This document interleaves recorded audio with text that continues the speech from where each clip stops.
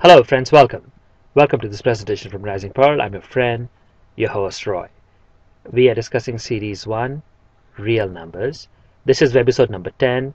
Today's topic friends is prime factorization and the fundamental theorem of arithmetic. Let's get started. Now, we have seen in our earlier movies what do we mean by fundamental theorem of arithmetic. What it states is the following. Every composite number every single composite number can be expressed as product of primes in one and only one unique way if we do not consider the order in which the prime numbers are written.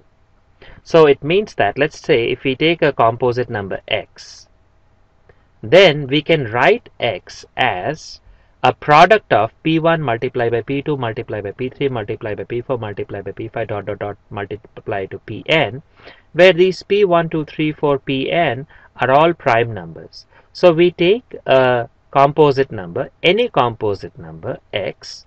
We absolutely can write this as product of prime numbers where they are all prime numbers and this is what we is the basic definition of fundamental theorem of arithmetic now friends, if you recall, isn't this really what is what we have studied in our earlier classes as prime factorization? Yes, yes indeed.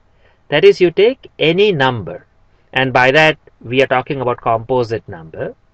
You can break that composite number down as product of its prime. And like the fundamental theorem of arithmetic is stating that there is one and only one unique way of doing that. So let's take some examples. So let's start out maybe you know taking some small examples. Let's say the number 20. We can write the number 20 as 2 multiplied by 10. Now 2 is a prime so we cannot break 2 down anymore but 10 we can break 10 as 2 times 5. Now both 2 and 5 are prime so we cannot break it down anymore.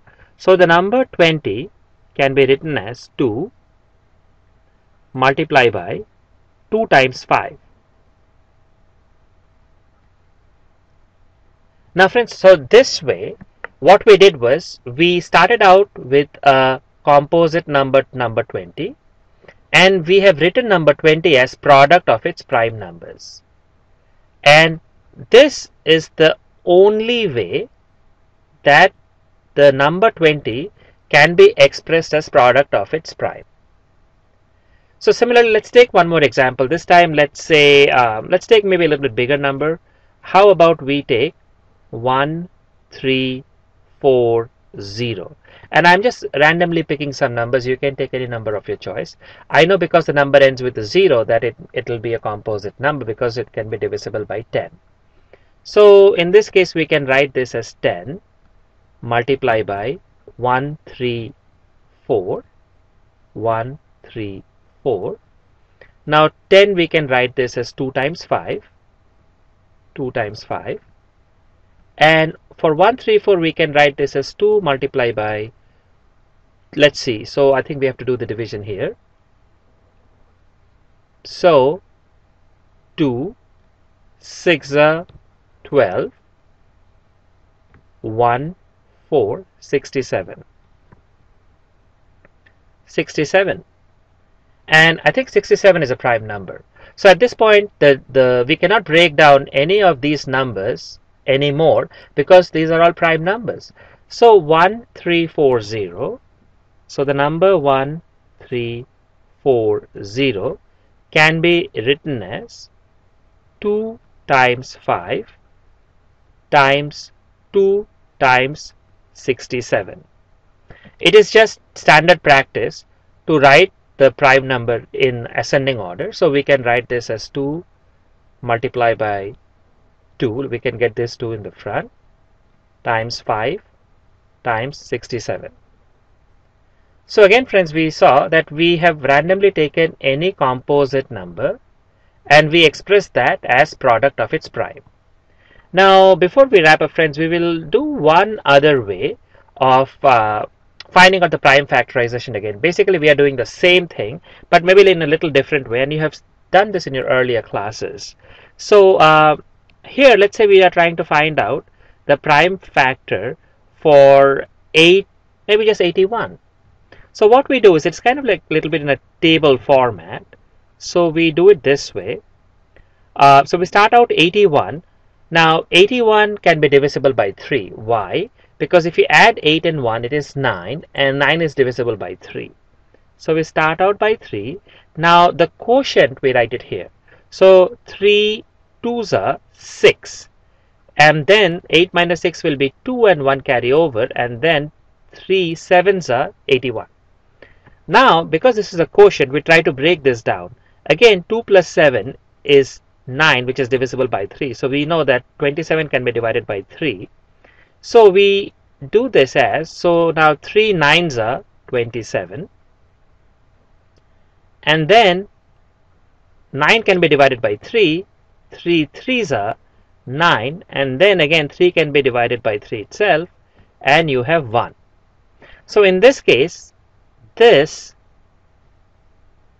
these are all the prime factors for 81 that means 81 can be written as 81 can be written as 3 times. So 3 times 3 times 3 times 3 there are 4 threes in here. 3 times 3 times 3 times 3 so I can leave it at this or I can just simply say that because there are all the 3's I can say 3 to the power of 4 so again this is prime factorization done a little bit differently and you have done this in your earlier classes and from fundamental theorem of arithmetic we know that 81 is a composite number and this can be expressed as product of primes and this is the only way in which we can express 81 as product of its prime. So before we wrap up maybe let's take a small example how about we do 121 0. So here we will start out by saying maybe like let's take 2.